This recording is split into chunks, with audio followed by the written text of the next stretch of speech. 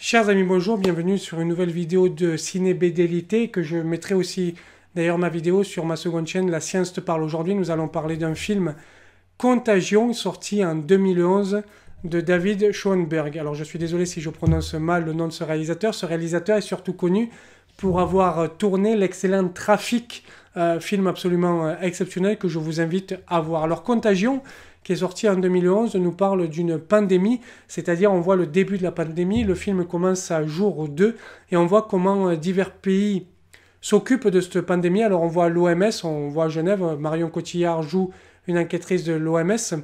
On voit aussi le CDC, on voit les médecins du CDC, on voit quelques médecins régionaux où il faut expliquer un petit peu la pandémie, on voit des chercheurs dans leur P4 ou P3 et on voit aussi des journalistes.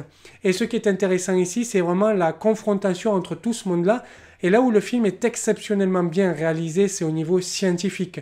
Moi qui suis chercheur, je peux assurer que ce que l'on voit dans les P3, les P4, les salles de culture, même la couleur du milieu de culture, cette euh, couleur avec euh, le red phénol qui nous permet de savoir, c'est euh, juste une petite parenthèse, c'est euh, colorimétrique. Pourquoi? Parce qu'en fait, selon le pH, on sait si euh, les cellules ont utilisé les acides aminés ou pas. Et si ça devient jaune, ça veut dire qu'il faut impérativement changer le milieu. Même la couleur, même la couleur des immunofluorescences que l'on voit euh, ici dans le film sont extrêmement réalistes. Les salles de microscopie, les stockages d'azote pour les cellules, etc. Et pour les virus sont très très bien faites. Pour une fois, nous avons un film qui nous montre la science telle qu'elle est. Il nous montre les médecins sur le terrain. D'ailleurs, une des médecins va mourir, une des médecins du CDC, une enquêtrice va mourir. Il nous montre la panique des populations, il nous montre, alors avec un petit peu d'exagération d'ailleurs sur la panique des populations, parce qu'on va avoir les rations, des rations de survie aux États-Unis, et ça, ça ne s'est pas passé par exemple pour le Covid. On va avoir euh, la peur vraiment des gens, et ça pour le coup, ça s'est passé dans le Covid, on va avoir euh, la réaction des journalistes.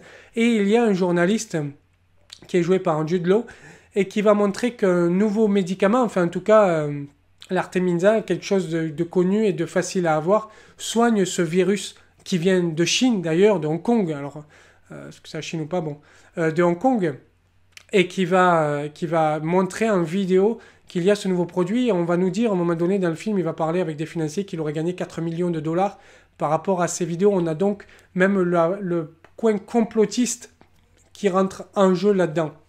Le point qui dont il ne pouvait pas penser, notre cher David, réalisateur de Contagion, c'est le fait que certains médecins aussi allaient diffuser des fake news sur Internet dans les publications, euh, tous, les, tous les papiers qui pouvaient sortir, etc. Ceci n'est pas montré et on comprend qu'on ne pouvait pas imaginer ceci mais là où le, film est bien fait, c'est qu'ils essaient de pousser réellement l'imagination sur ce que serait une contagion au début du 21e siècle. Le film date de 2011, au début du 21e siècle, et c'est extrêmement réaliste, c'est extrêmement bien joué, les acteurs sont très justes. Il y a un petit euh, point, c'est le R0, alors on nous explique le R0, on a la définition du R0, etc. Et ça aussi, c'est très bien réalisé. Le point, c'est qu'on sait que ça peut évoluer euh, selon l'état de la pandémie, mais euh, ce petit point-là, mis à part, tout est très juste, tout est excellent. Même les adolescents qui jouent là-dedans, les deux adolescents qui jouent, sont euh, très bons. Euh, la, mort est très bien montrée aussi, le, chagrin des familles, la peur.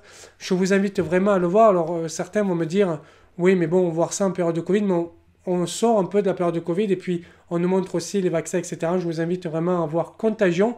J'avais déjà fait une vidéo pour vous dire que 12 hommes en couleur, c'était le film du Covid sur le doute raisonnable. Et je vous dis, La Contagion, c'est le film de la fin Covid parce qu'il y a beaucoup de choses qui avaient été déjà un peu prophétisées dans ce film. Vous passez une heure et demie agréable. Le film est à voir. Sans doute à revoir. Je vous remercie. Je vous dis à bientôt. Au revoir. Soit sur Ciné soit sur La Science te parle. Merci. À bientôt. Au revoir.